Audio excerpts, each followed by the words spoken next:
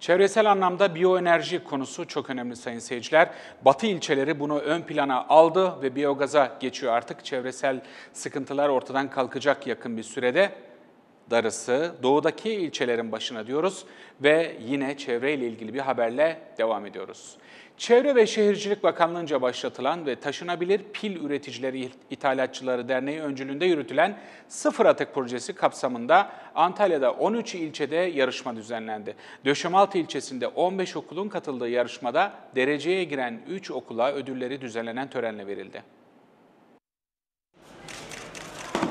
Çevre ve Şehircilik Bakanlığı'nca başlatılan Taşınabilir Pil Üreticileri ve İthalatçıları Derneği öncülüğünde yürütülen Sıfır Atık Projesi kapsamında düzenlenen okullar arası atık pil toplama kampanyası büyük ilgi gördü. Döşemaltı, Kumluca, Aksu, Kaş, Korkuteli, Gazipaşa, Finike, Kemer, Elmalı, Demre, Akseki, Gündoğmuş ve İbradı'nın yer aldığı grupta öğrenciler en çok pili toplamak için yarıştı.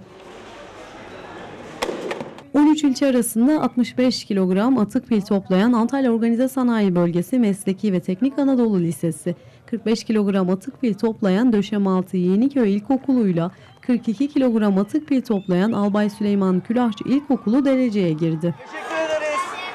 En çok atık pil toplayan okullara dernek tarafından temin edilen satranç ve spor malzemelerinden oluşan ödüller Döşemaltı Belediyesi Temizlik İşleri Müdürü Figen Çörekçi tarafından okul yöneticilerine törenle teslim edildi.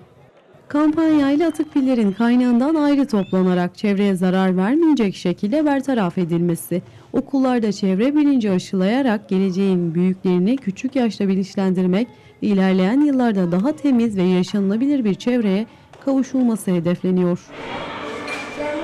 Döşeme altından 15 okulun kampanyada yer aldığı belirtildi.